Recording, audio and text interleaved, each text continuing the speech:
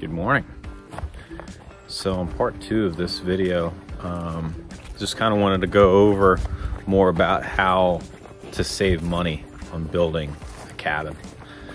Now I'm gonna go, I'm gonna show you different different materials that we bought and what we bought them for. And this will kind of give you the best idea on how to uh, execute building a cabin from the ground up. So this would be the cull carts that I was explaining that you can get Lowe's and uh, other retailers that it's basically their their discounted lumber. Now a lot of these stores will drop to 50% off, but you can you can get them to go much much lower.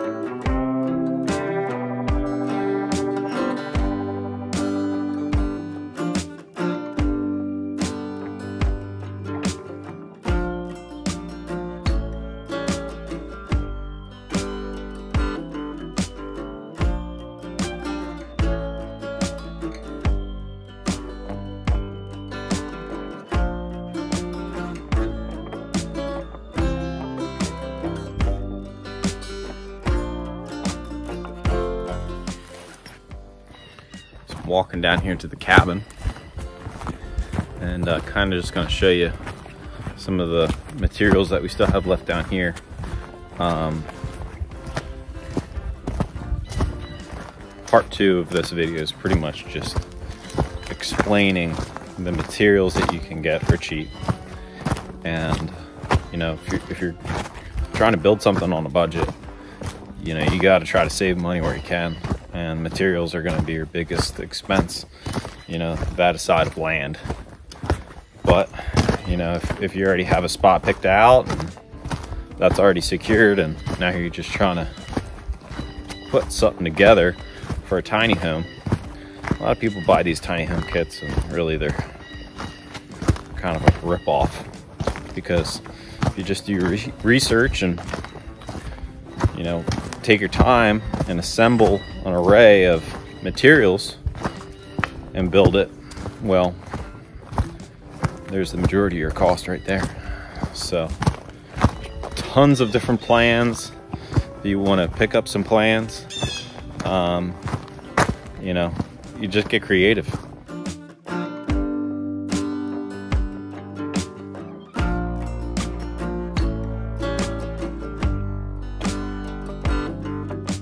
here's kind of a sneak peek on the cabin. So it's black and tan. So we got some of the trim up around the windows and uh, we got a little bit of the material up on this side here. The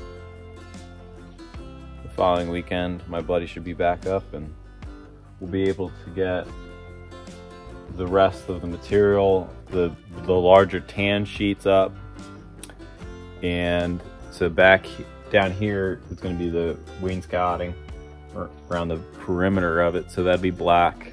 So be black around the bottom, and then be tan up the sides. So it'll look pretty sweet. So entranceway in. We'll have over here. Uh, this is kind of going to be the living room. The fireplace is going to go over here. It's going to be a little, little kind of potbelly stove. Um, and then upstairs will be a little bedroom. Down here in the corner will be the uh, a small little bathroom. Where this big bay window is, is going to be the uh, small downstairs bedroom. Have a staircase that will go up. And that'll go up to the upstairs bedroom. I still have to put a large uh, window upstairs for the upstairs bedroom. Um, originally it was gonna go out. So there, there would be, you know, the stairs that would come from here up and then you'd have a door at, the at the end and then you'd basically be have a, a door that would go into the bedroom but we're getting rid of that design. And now this will be the kitchen over here. So this is another another window that we got super cheap. This is a big Andersen window. I think it's like six by five. I think we got that for for about 10 bucks. This one here that one we got for a dollar. This one here, I think we got that one for five bucks too. Um, this one was a $25 window. This one over here I think was 50 bucks for this big uh, Andersen window as well. And this one's big. This one's uh, this is a casement window. Um, I think this one's about five feet by six and a half feet. So it's a good size. Um, but a lot of the stuff is just leftover contractor builder materials. Um, and they give them to the fire company to raise money at the end of the year uh, near us. And they do what's called a mud sale. So you have all the Amish that come out for the mud sales and they basically put the whole event together and all the proceeds go to the fire company. And you know everybody around kind of goes to the events and you know it's a it's an all day thing that or it's two days. And you can get windows and doors and roofing and siding and all sorts of wood for building materials. But you know it's I think I think it's like uh, 10 bucks to get in and you get your number and then uh, you know you, you can get entire pallets of brick for you know five or six bucks. Where those are the types of things where you know you got an imagination go to these things and you just start shopping. Start picking up different things that, that you that you can see might have a have a use for yourself. So here is our holding tank um, for the cabin. So we got this tank for 300 bucks. Um, this quality of tank is pretty much overkill because it's double wall. Um, and these things are super heavy duty.